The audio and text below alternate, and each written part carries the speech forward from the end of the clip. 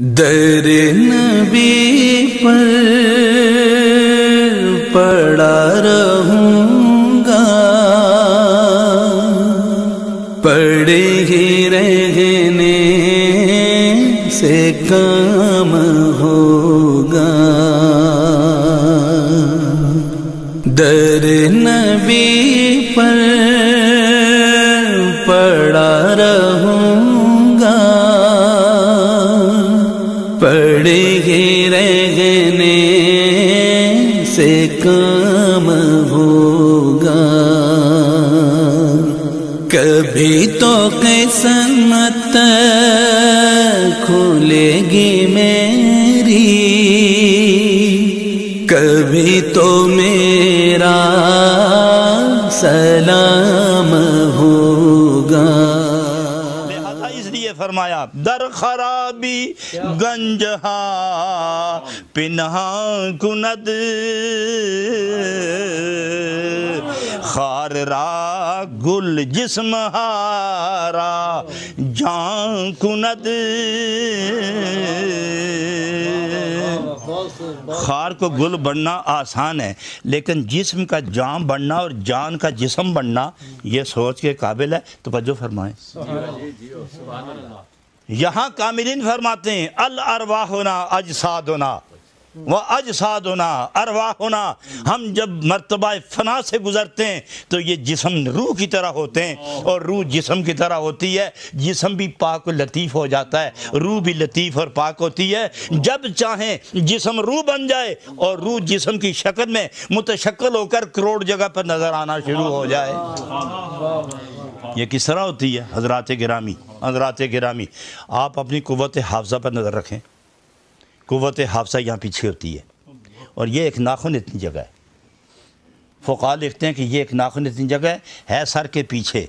दिमाग के अंदर इसका एक हिस्सा है। इसे कुत हाफजा कहते हैं। आप अपनी सारी ज़िंदगी में जो कुछ देखते हैं वो आपके हाफजे के अंदर रहती है। आपके और जब भी ख्याल करें वो चीज़ पूरी शक्ल के साथ सामने आ जाती है। होता ख्याल है। होता ख्याल है, लेकिन मुतशक्ल होकर सूरत में सामने आती है। अगर ये छोटा सा कुत छोटा सा मरकज़ हाफजा इतने जहान को संभाले हुए है और जब ख्याल करते हो तो वो ख्याल मुतशक्ल हो जाता है। मुतसबर हो जाता है मुतशक्ल हो जाता है।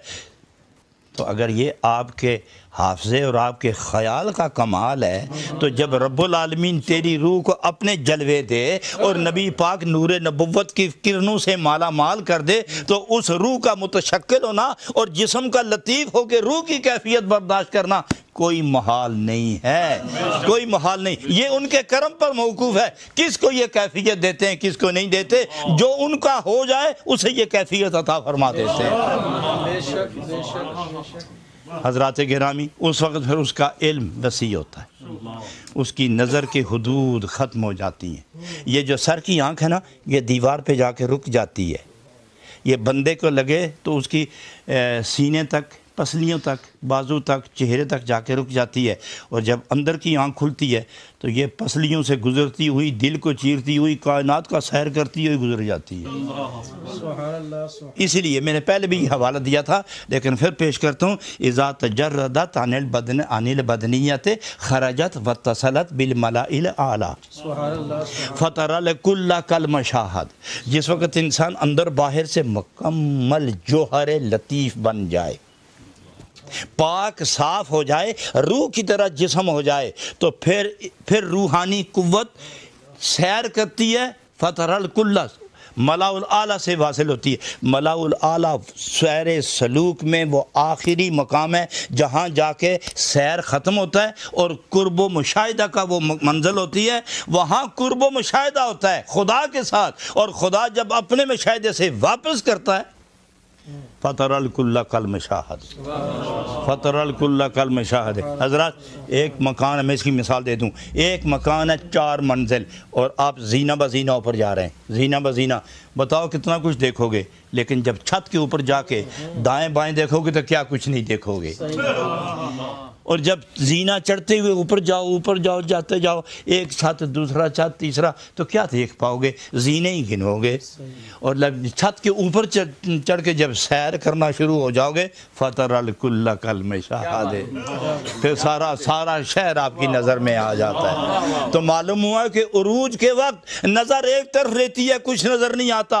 और नजूल के वक्त चूँकि कुव्वतें सारी साथ होती हैं, उरूज के वक्त कुछ नज़र नहीं आता। महबूब की तरफ़ नज़र रहती है और हुक्मन और मशीयतन जब वो वापस होता है तो सारी लताफतें साथ होती हैं। नज़र फैलती है फतर अल कुल्ला कल में चलते हुए कुछ नहीं देखता उतरते हुए सब कोई देखता। तो इसलिए फरमाया कि ये हम पर है करम, कि हम किस किस को करम से नवाजते हैं।